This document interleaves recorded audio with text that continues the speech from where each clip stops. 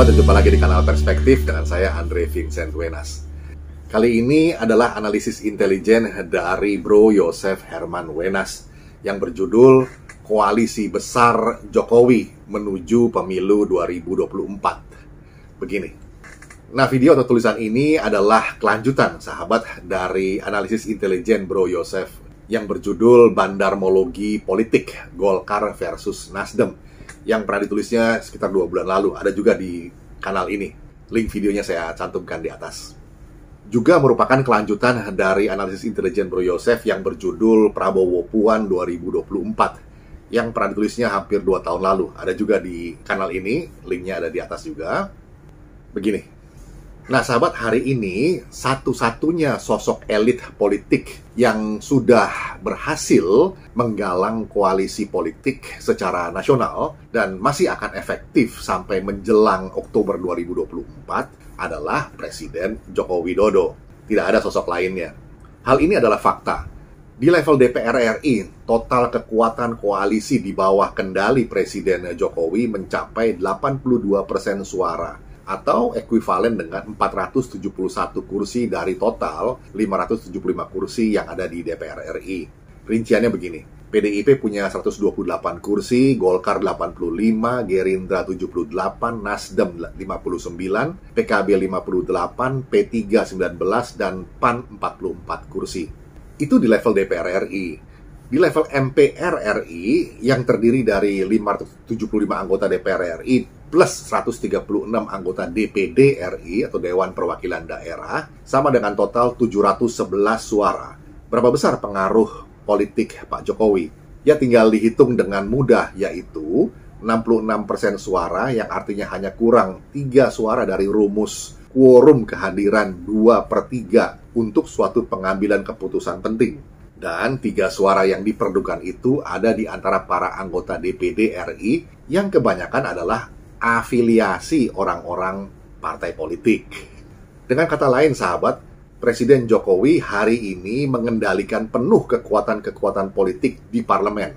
Koalisi besar inilah yang mau dipertahankan untuk berlanjut ke periode 2024 sampai 2029 oleh Pak Jokowi. Sekaligus dengan demikian menempatkan dirinya pada posisi sentral sebagai kingmaker. Dan menurut hemat Bro Yosef, ini adalah sebuah gagasan brilian. Bukan saja untuk kehidupan politik bangsa ini, tetapi ini yang penting, keberlanjutan pembangunan Indonesia. Nah, ini yang perlu digarisbawahi, keberlanjutan pembangunan Indonesia. Nah, Bro Yosef melihat begini, koalisi besar Pak Jokowi ini pada akhirnya akan menjadi katalisator sekaligus merombak arah manuver dari Nasdem juga blok-blok politik seperti Koalisi Indonesia Bersatu atau KIB dan Koalisi Indonesia Raya, terutama setelah PDIP melalui Mbak Puan Maharani itu mulai bergerak. Nah, sahabat, ada hubungan strategis antara koalisi besar Jokowi ini dan manuver Puan Maharani baru-baru ini. Mari kita analisis lebih jauh. Ingat, sahabat, Bro Yosef sudah membahas bahwa lokomotif manuver bandarmologi politik ada pada pemilik PT atau presidential threshold, bukan pada capres pemilik elektabilitas tertinggi. Ini penting. Pasti juga bukan pada selera netizen, apalagi para cukong.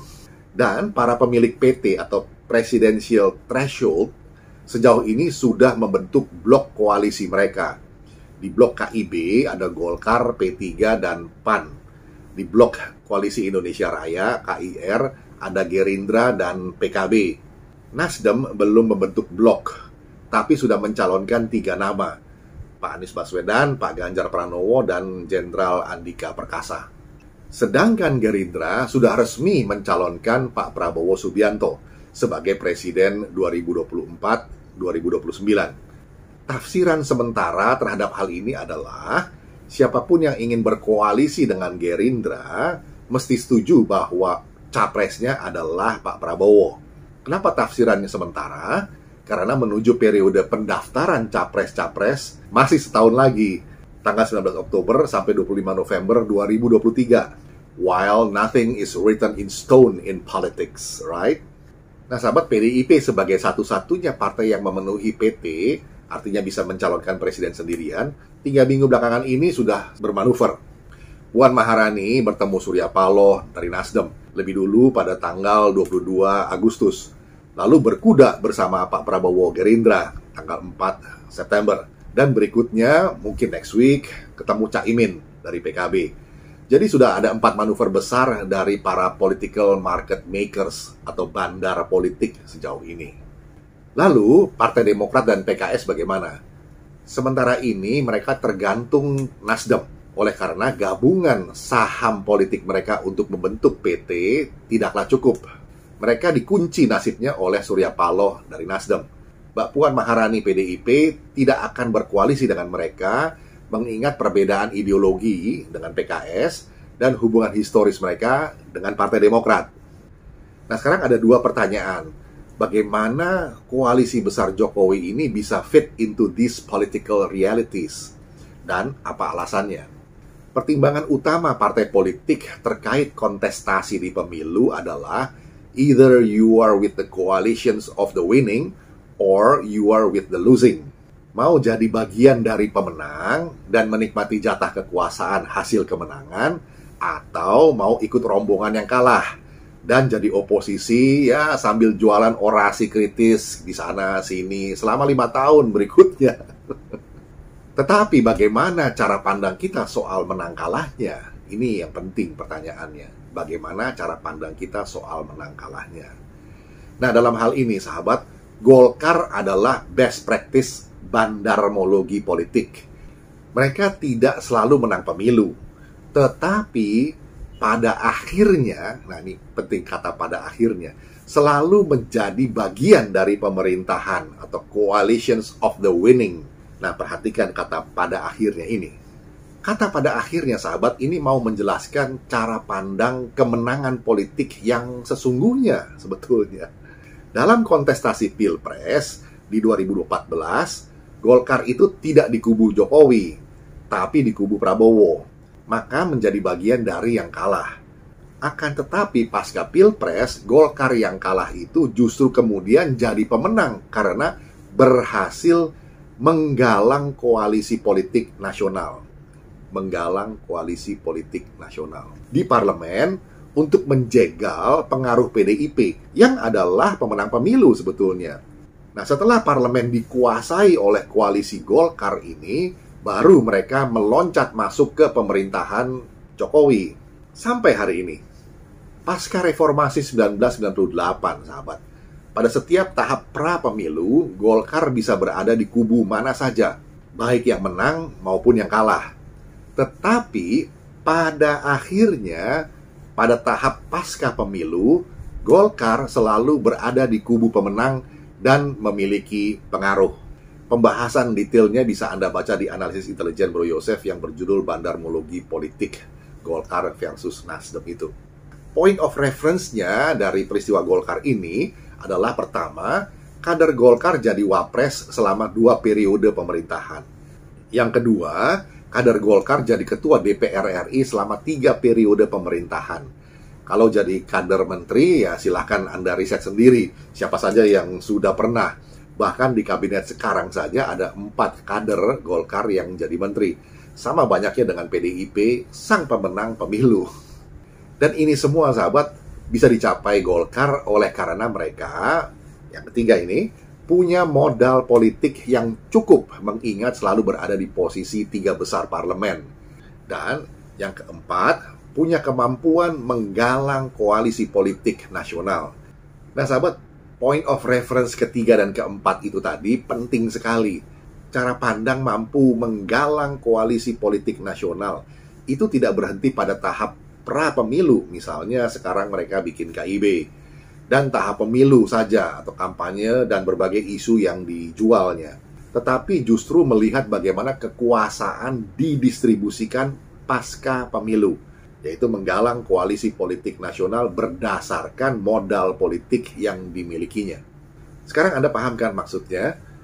Kita sekarang mulai sibuk menganalisis blok-blok politik ini itu, maupun manuver-manuver politik parpol itu dan ini.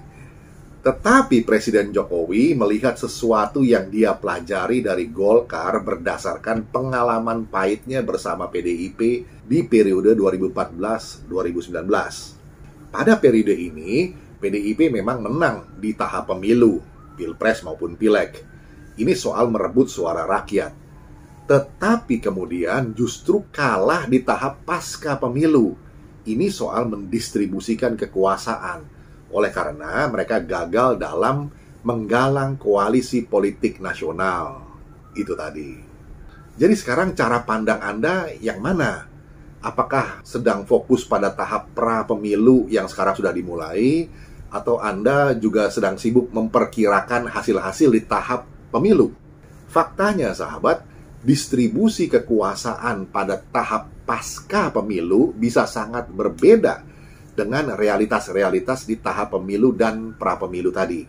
Dan hal inilah yang menjadi concern utama koalisi besar Jokowi hari ini. Yang permainannya sedang digiring melalui Mbak Puan Maharani. Nah, sejak kapan koalisi besar Jokowi ini mulai direalisasikan? Anda pasti masih ingat, tahun lalu 25 Agustus 2021 di Istana Negara, Presiden Jokowi bertemu para ketua umum dan sekjen partai koalisi yang punya kursi di parlemen. Dari PDIP hadir Bu Megawati Soekarno Putri, Pak Hasto Kristianto. Dari Gerindra, Pak Prabowo Subianto, dan Pak Ahmad Muzani. Dari Golkar, Pak Erlangga Hartarto dan Pak Lodewijk Paulus. Dari PKB, Pak Muhaimin Iskandar dan Pak Hasanuddin Wahid. Dari Nasdem, Pak Surya Paloh dan Pak Joni Plate. Dan dari P3, Pak Suharso Mono Arfa dan Pak Arwani Tomafi. Di luar enam partai koalisi parlemen itu hadir juga teman baru yang punya kursi di parlemen, PAN, yaitu Pak Zulkifli Hasan dan Pak Edi Suparno.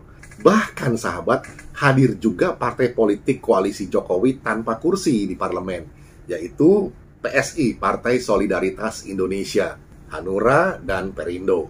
Faktanya sahabat, sejak Presiden Jokowi punya koalisi politik super gembrot yaitu 82% suara di parlemen, semua urusan pemerintahan cepat beres. Bahkan isu IKN, ibu kota negara yang baru itu, yang perihal urgensinya dianggap kontroversial, dengan mudah diketok palu di parlemen. Nah inilah aspek politik di balik stabilitas dan kesinambungan pembangunan Indonesia, whether you like it or not. Nah, dengan demikian, sekarang kita bisa memahami mengapa Pak Jokowi justru semakin aktif menggalang kekuatan-kekuatan relawannya belakangan ini. Padahal sudah tidak mungkin jadi presiden lagi, bukan? Demikian sahabat, analisis intelijen dari Bro Yosef Herman Wenas seputar koalisi besar Jokowi menuju pemilu 2024. Kiranya bisa menjadi perspektif, kita jumpa lagi di session berikutnya. Terima kasih.